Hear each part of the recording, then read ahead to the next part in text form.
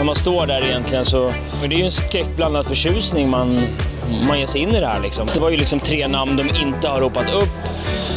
Eh, jag var ett utav dem och jag, och jag, nej, jag trodde inte att, att det skulle vara jag faktiskt. Jag är helt eh, omtumlad eh, i det här. Jag var, jag var inte beredd på det. Jag trodde faktiskt inte att jag skulle vinna. Det var eh, överraskande och en stor lättnad.